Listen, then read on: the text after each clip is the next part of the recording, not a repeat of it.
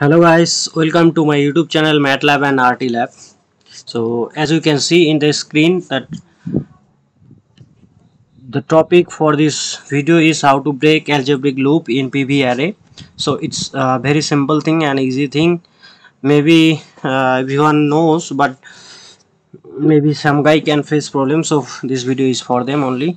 It's only just simple uh, just some click away okay? Double click on pv array means i'm talking about this pv array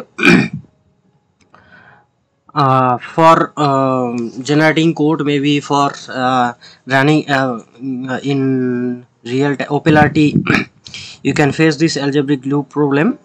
So simple thing just double click on this pv array okay and go to advanced option and here just click break algebraic loop in the uh, in internal model okay? So that's it grow apply okay.